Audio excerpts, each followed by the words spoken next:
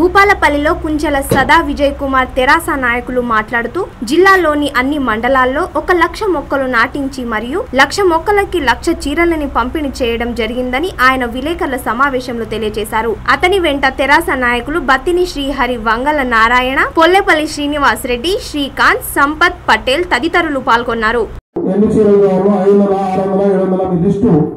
మీరు ration card list మా దగ్గర ఉంటుంది. ఆ ప్ర- కార్డు ప్రకారంగా.